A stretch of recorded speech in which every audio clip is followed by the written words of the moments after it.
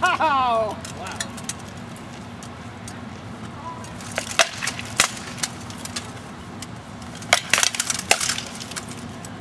Okay, the sweeping around isn't necessarily uh, a good idea because it exposes your back. Huh? The sweeping around isn't necessarily a good idea. I know. I gotta get. It's a good way if I can get around it, but I gotta do it fast. That's why I'm, I'm working with it. Good on that. Shot. Turn it up a little bit. You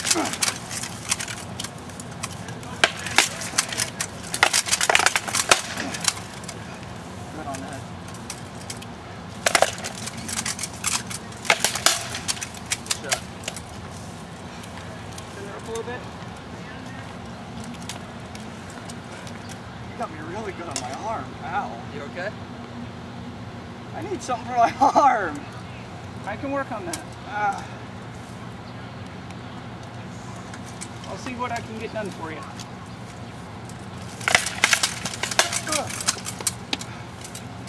Too light on my head, or rather, too far.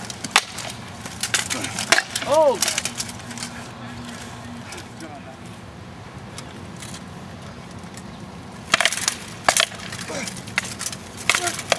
Good. Ow.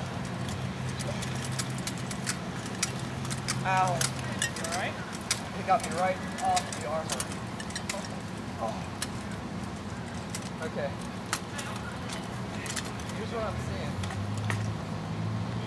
Where at? Right there. Oh, guys, he's hit me there twice already. You're doing a lot of this. When you go Florentine, both these are good for offensive and defensive. The trick of it is, is one stays defensive, one goes offensive, and you switch it around. Usually you don't want to go offensive with both at the same time, unless you see the opening. He's just flat wide and you can take it. You always want to leave one of these behind to protect your area. See what I'm saying? Yeah. So when one goes out and you're done, switch back, and switch back, and switch back.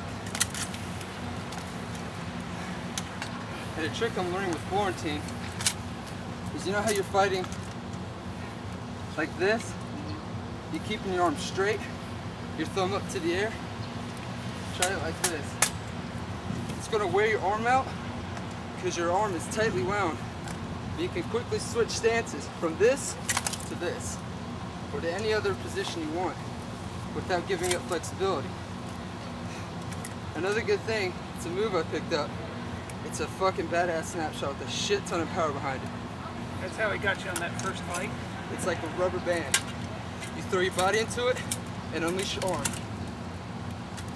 Now the thing is, it's a slow attack at first if you don't know how to get it out there fast. You're leaving yourself open. So you need to figure out when you can use that. See what I'm saying? Yeah. Good.